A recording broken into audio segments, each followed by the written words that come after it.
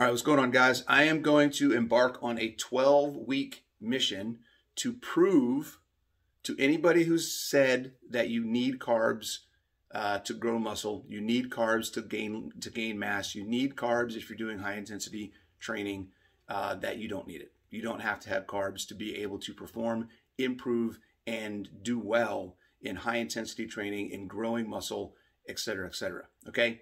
Uh, it's been done. There's been studies. There's been hundreds of thousands of people out there doing it. But I'm going to give you a microcosm of what the process looks like from start to finish in 12 weeks. Okay. So what's going to happen? I'm going to start a 12 week program. The 12 week program is going to be a combination of high intensity work, strength work, and uh, GPP, what we call uh, general physical preparedness. Okay, it's gonna be a lot of combination of different things. I'm going to post every single day that I'm working out what the workout is. If you want to follow along, feel free to follow along. Okay. Uh, I'm also going to post what I eat for the day.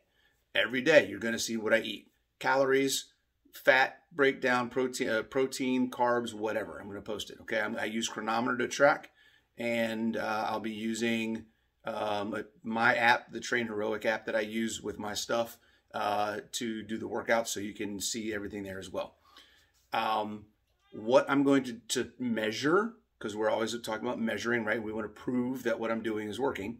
So I'm going to measure my body fat, my lean mass, all right? And then I'm going to have the major list, right? I'm going to see if I increase and get stronger in my squat. I'm going to see if I increase and get stronger in my deadlift, see if I increase and get stronger in my bench press, see if I increase and get stronger in my overhead press. Those are the four main things.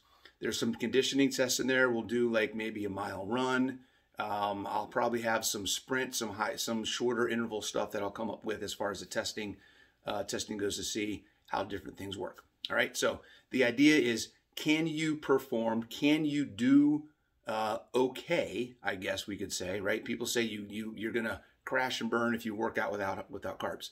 Um, now keep in mind, I've been low carb, zero carb for almost three years. Okay, we're going on just over, well, almost three years, just over two and a half, two and a half years, okay, two years, seven months.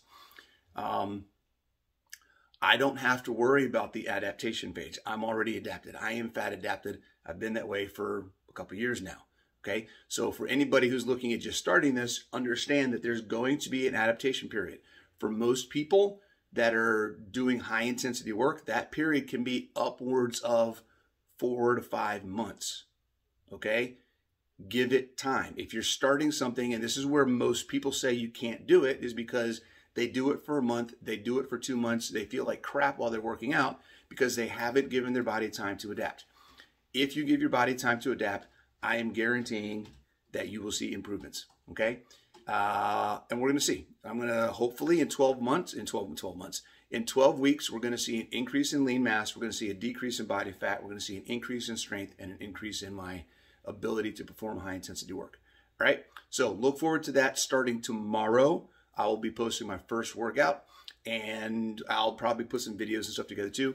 If you have any questions, if you want to follow along, share this with anybody you know who says you have to have carbs to do high intensity work because I'm going to show that you don't.